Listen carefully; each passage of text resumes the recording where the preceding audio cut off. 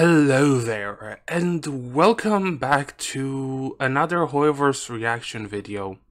This time I'm actually reacting because I haven't actually seen the trailer. Unfortunately, the live stream was during my work hours, so I couldn't watch it then, nor could I record a video then. But here I am, and I'm really, really excited because Fontaine seems to be cooler and cooler by the minute. And I really, really want to see more of Arlecchino, if I'm being totally honest. And maybe actually get some hints on what uh, Furina does. But, um, yeah. Let's get into the video. Uh, it is fine. It says it's like six minutes long, but most likely around the end there's going to be the whole like two minutes or so of event showcases. So let's just let's just go. I'll let it go through once on its own, like the full trailer, and then I'll take it bit by bit and just talk about it. See what what's what what happens. I'm not sure exactly when it began, but a prophecy has been circulating around Fontaine. The people will all be dissolved into the waters, and only the Hydro Archon will remain, weeping on her throne. I, Focalor, hereby welcome you to the nation of Hydro, and acknowledge the value and significance of your trip. Now, you may rejoice in this.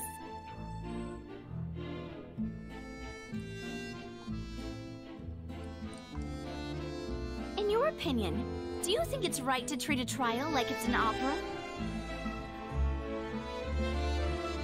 To the people of Fontaine, the line between a trial and a performance can be a little blurred. Welcome, one and all, to the Opera Epiclese. Watch carefully now. Blink and you might miss it.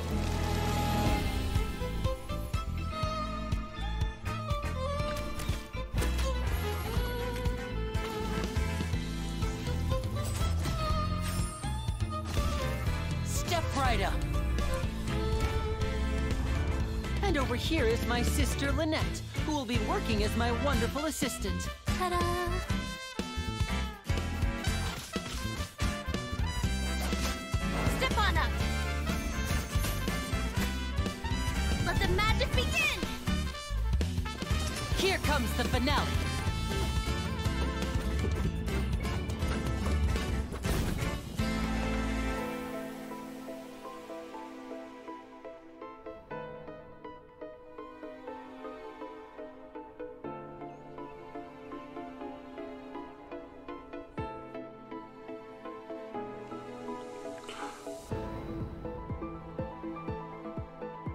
To spend some time at the bottom of the sea in peace.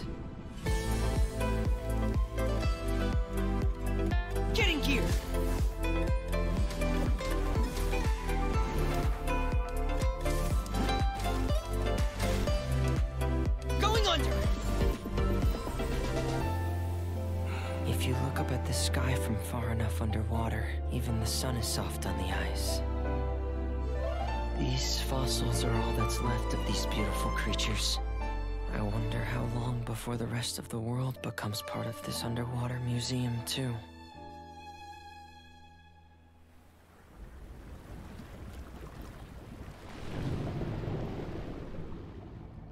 I'm.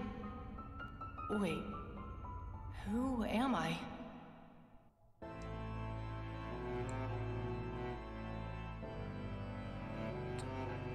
The water is gradually swallowing our memories. It won't be long before it swallows us. We've been trying to find out how the Oratrice operates. We want to know why it has a consciousness. Why can it deliver sentences accurately? Rain. It's raining. We must know all we can about this nation's secrets in order to deal with that prophesized crisis. The show? You gotta be kidding! Uh, what happened? Charges have now been pressed, and as such, a trial is in order. Therefore, you would be wise to tell everything you know and seek the protection of the guards. Dear God, it's a whole army of Gardemeks. I believe this is indeed the finale. your so-called justice, your beloved drama, while turning a blind eye to the suffering of the people. In your eyes, the value of a human life is nothing compared to those cold laws you hold so dear.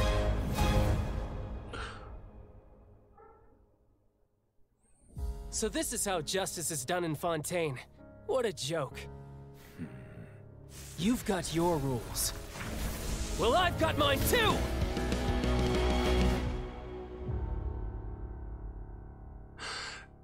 Now wait a second. I I I ah, okay. Childe is indeed Mr. Worldwide. He appeared in pretty much every gosh darn nation possible. If not on his own, at least during a banner. Ah, this is amazing. Okay, yeah. Uh, though it's a pretty long trailer now that I, I'm, I'm, uh, now that I look at it. Four minutes and 45 seconds if you count the rest of this, but afterwards it's the events. I'll take a look at them after. But oh boy, this is long. so there's this prophecy that said that talks about Fontaine, most likely the Fontaine's destruction, with the Archon being the only one left. Began. But a prophecy has been circulating around Fontaine. I, want, uh, uh, I I'm still not used to the voices, but I think this is uh Lyney. And it seems like from the trailer that Lyney and Lene at least are trying to uncover some secrets about Fontaine. But I remember one line he said like some sort of me mechanism that is doing the um the trials not the trials but the sentences. Like how can this mechanism send like uh, give accurate sen uh, sentences for crimes at some point in here i think during this part?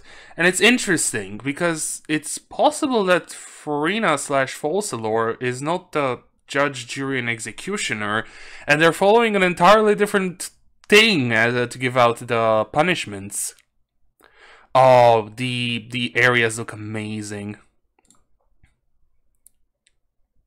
Interesting architecture. This this sort of gives me vibes, or sort of like a an old wizard house, you know, with lots of lots of nature around it. It's quite high, quite high of a building with sort of a tower to it. I wonder if it has. I wonder if it has anything to do with Nicole. Was it Nicole, the one that contacts you at around the end of the um uh, the Sumeru Archon quest and tells you about rewriting fate? It's entirely possible. Since, well, after Fontaine, we're pretty much in the endgame of Genshin's story because you know we've had Sumeru be pretty much the middle midpoint, and now Fontaine goes into the second half of the story. So I wouldn't be too surprised that we get more and more serious and more and more revelations. A nice little area. I really like how this town looks. This looks like a an area that might be either underwater in an underwater in a cave that has an underwater entrance or it's in between Sumeru and Fontaine. This gives me lots of uh, Sumeru vibes. What else? Uh, we got, I think we get more of the sewers, or at least the underground, and honestly, it's gonna be awesome that we're getting an underground map to go with all of these. Uh, we also have the characters with Lenny, who, eh, does the look look wise, I actually like Lenny's uh, design. I just don't really vibe with his kit per se. Then we have Lynette. Again, really like the design of the uh, of the siblings, and I actually really like her um her skills and the way that the VFX is done for the skills, like these blue dark effects. I think they're more cyan because she's Anemo. Oh, and each of them have the this little companion in a hat, which is actually really cute. And if I recall correctly, don't don't quote me on this, but I think Freminet is also part is, is a part of the siblings. And he also has the penguin. So that's that's really nice. There was something else. not during the beginning. During the beginning, we do get uh, more, uh, better look at, at in general, at Fontaine. Ooh, also a little birdie. And the bird does look interesting. Again, it's most likely a critter that's mainly going to be in the air, maybe. Not entirely sure. Um, oh, is that a mech? No? Wait, let me let me go through the video itself. But yeah, we do get a better look at uh I think this is the main city of from from Fontaine. Hmm. Mm, maybe. The, that looks like the, the the the fountain, the fountain, the jets, water jet thingies. I think we do see that place a bit later. Yeah, here. Mm, no, it's not the same place. Uh, we do have... Oh yeah, we do see a mech. Well, it's not a mech, it's a robot. I don't remember what they called it. And we do see that Geo lady back there. And yeah, I guess she's running some sort of underground organization. These guys look really cool. I really like that cost those costumes. Look really nice. So I wonder if we're gonna have it robot NPCs, or if the, this is the model just for a new enemy, just reused throughout the city. And then we do have another scene in a bit here. Oh, that was uh, Charlotte. Oh, here's Charlotte again.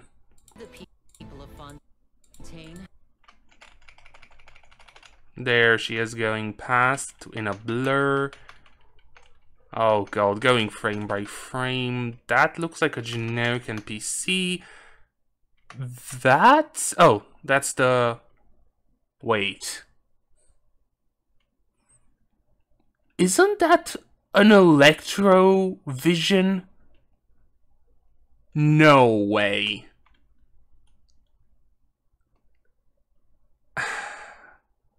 that would be hilarious and really unfortunate.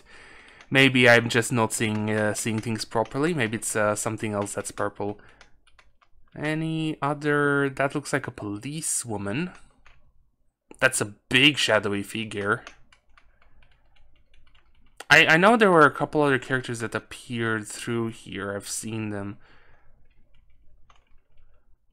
Oh? I think this is that uh, that um, policewoman with the with the electro sword that's around the ending. There's too much like blue on uh, on her.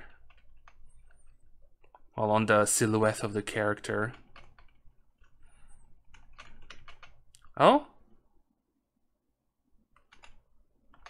Is that Lynette? Could be, but hair's looks hair looks too doesn't look right. Could be another character. That's another police woman, policeman. More things that look like random MC, and we have Lenny with his pyrovision putting up for a show, and I believe this is the last one in here. A couple other things, a couple other people that look like NPCs.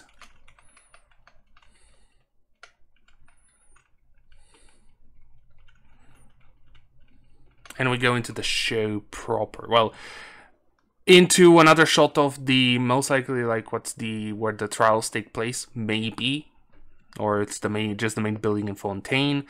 We have Lenny's showcase, Lynette's showcase, the theater, those areas that I already talked about, Fermine's showcase, and then we go in the underwater, which looks beautiful. I'm in love with the way the underwater areas look. And I think so. I would have loved for Hoyoverse to maybe give us a lot more underwater and give us the possibility to go under the water in every body of water that is in Teyvat. That is a highly unachievable. Well, it's not unachievable. It's a very big task for Hoyoverse to do that because there's a lot of bodies. Yeah, there's a lot of bodies of water that could remain without anything, and they're way too shallow. But there's a lot of areas, especially near the shores of Liyue and Mondstadt, and now even uh, up in the northeast of uh, Sumeru, where there will be a lot of work and a lot of little plans and details that they would have to put around. And I feel like this is the best sort of compromise we could get. We get diving only in, if this is how it works, we get on diving only in Fontaine, kind of like how you had Sorush as a as an gameplay mechanic only in that in, in her area. So we get diving only in Fontaine, but the underwater areas are gorgeous. I've already said this once, but this does remind me of Subnautica. But the more I see it, the more I'm like, this looks better than that. Those little sea lion guys again. That looks like a Sumeru ruin. Or maybe it's Khaenri'ah. Not entirely sure. Oh, speaking of Khaenri'ah, there's still that huge door in Sumeru that we haven't gotten a real answer to, or well opened. It's entirely possible that might have been that might be the area where we go to Khaenri'ah proper once we get to that point in the story. Oh, Whatever, we're not here for speculation, we're here to see the trailer. More fishies. I do like how they're like actual 3D models and not just 2D assets that they put together. And here we get more of that prophecy thing. Like, I, I, I wonder how this ties in with uh, with Folcelor. Like, how the how is Folcelor really behind the scenes? Because we have heard her talk and we have seen her demeanor being very dismissive and wanting to enjoy a really good court session. But again, this beginning bit here portrays her in a sort of it's either in a very dismissive state or very but then again because this could be a red herring this could just be the rain so this could be she could be very sad because of her people and the way that the uh, story will go it's entirely possible that Folcelor that everyone in Fontaine will be against Folcelor. Actually, that's entirely probable how the story will go because we already have a couple groups that are investigating the truth between um, the truth about the the court sessions and how the punishments are being given and everything and the sentences. So in reality, it's entirely possible that what the story will go is is going to be about having the people rebel against Folcelor and then Folcelor's reaction to it all but since the traveler is there and the traveler is not counted in the prophecy, because the traveler is not affected by the Irminsul, oh my god, it's entirely possible the prophecy will not be fulfilled. I could see it be in a way that normally, so without the traveler, okay, I'm going into speculation. Screw it, let's go into speculation. Without the traveler, Folcelor would be, uh, would have her people rebel against her, and she would be the one to drown Fontaine. Because of a tantrum, for example, because I could easily see Folcelor throw a tantrum.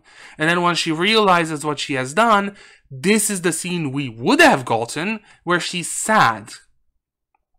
But because the traveler is not counted by prophecies, because Irminsul does not track them, does not track the traveler, it could throw literally everything about the prophecy upside down. oh my god. I make I, I, am gonna make I'm gonna I'm gonna say that's a prediction. Okay, what do we have afterwards? Then we have the boss. This is the new boss, which looks amazing. I wonder what the lore reason for these guys being here uh. Like, what's the lore reason? I wonder if they actually play into the story, because not all bosses play into the story. So that's the thing. Then we have uh, Linnea Linnea's, uh, Linnea Lynette's uh, magic trick, or supposed magic trick, and a bit about the mechanism that's giving out the sentences and stuff. We have that new character again, and then we have the ending of their magic trick, which, from the looks of it, kills Lynette. And I'm, it's a hundred percent a setup. the traveler is once again being well. No, no, it's not. He's not being. Well, it's highly. It's highly similar to the situation in Liyue. In Liyue, the, uh, the, the the Archon's body falls down, right, and then the traveler sort of getting not framed for it, but he's the one who's you know the traveler. He's the outsider in uh, Liyue at that point with no alibi. He barely arrived. Who knows what he has done before arriving to Liyue? And that's when he runs. Uh, the traveler runs away and meets with Childe. And once again, we have a faked death, which brings the suspicion onto the traveler, and Childe appears at some point. I'm curious how it's going to be different from uh, the Liyue Archon quest. of course, it's going to be different because we won't have a funeral. This is most likely going to dive a lot more into um, sort of an actual an actual case in in the in uh, in the court of uh, of Fontaine. Ah, but then again, later we have this scene where we have uh, her and and, uh, and these guys and her guards against the pretty much police, I'd say.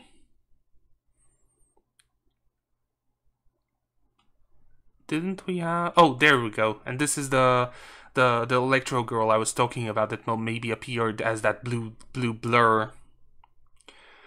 But yeah, it, it's going to be interesting to see where it all leads.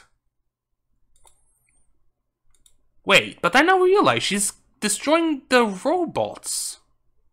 So this isn't necessarily the police trying to arrest the traveler. This might be a huge this might be a huge misunderstanding. Because if I go like this, as such, Therefore, you would be wise to tell everything you know and seek the protection of the gods. Dear God, it's a whole army of Gardemeks. Gardemeks. Because uh, you have that guy talking about the trial and everything, and then you go straight into this scene. Leave. This is indeed the finale. Then you have Furina talk. We go back to the to the boss.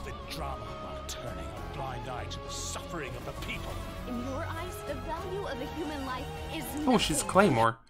And then you have both of them fighting the the Gardemeks. Like, like, like both of them do do like do destroy the mechs, unless this is supposed to be a different scene. No, it's not because we have this before. Anyway, then Childe, without any like thought, jumps. I said Childe, without any thought, jumps into the middle of the court. So this is how justice is done in Fontaine. What a joke. You've got your rules.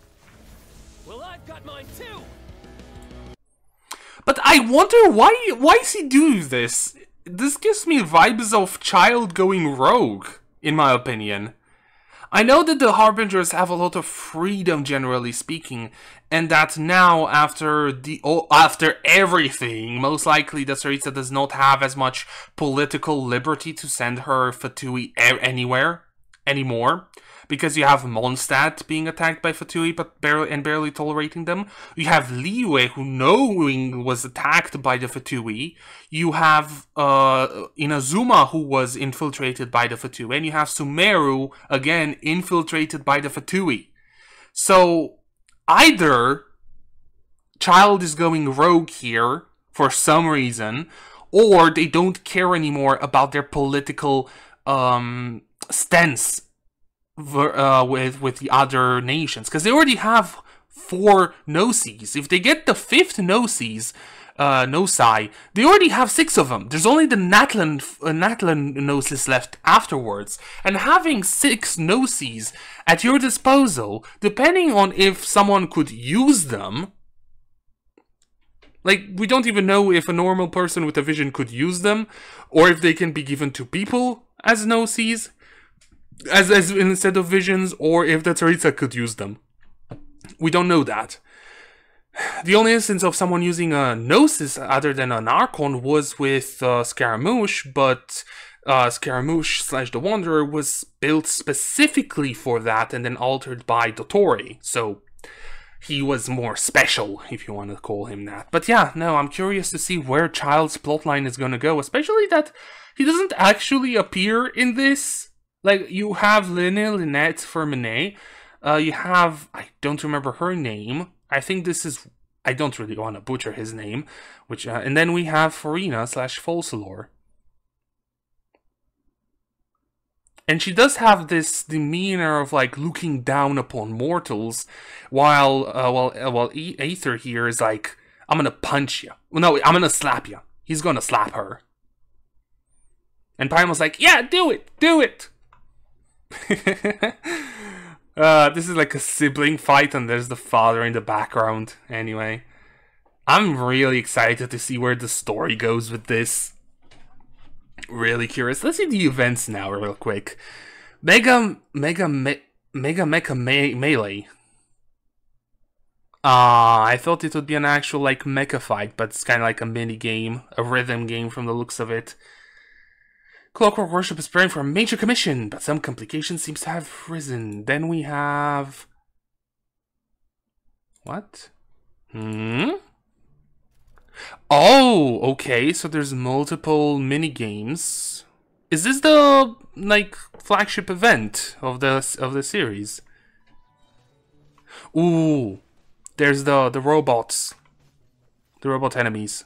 So they're once again infused with uh, with elements. Wait, stop it.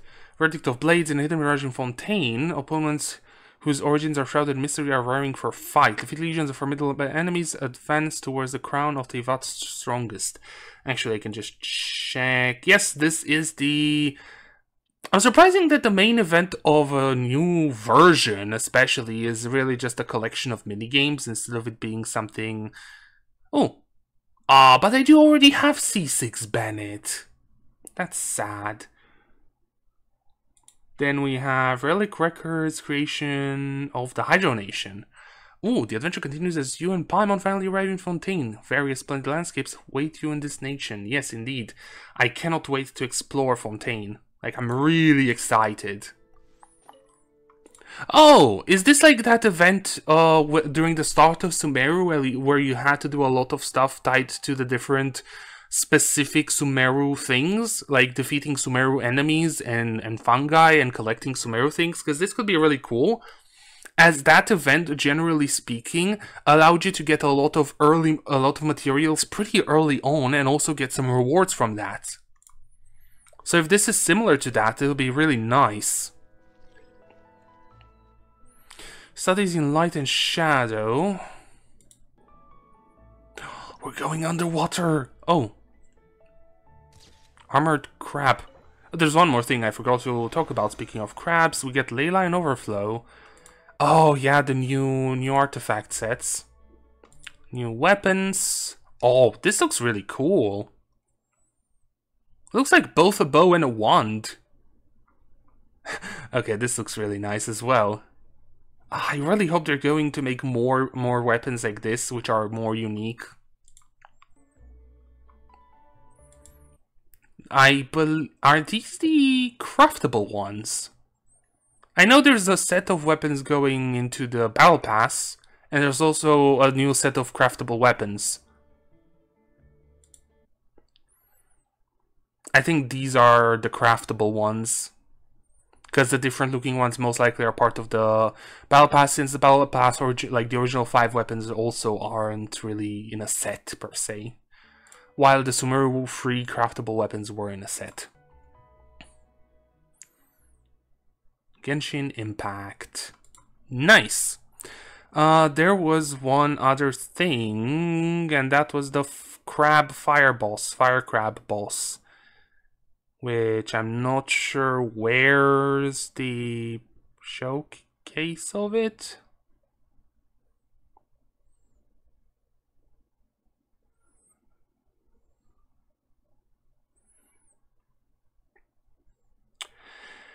Either way, there's a giant crab boss that appears, and uh, yeah, that's about it. That's about it for the trailer. I am really excited for Fontaine.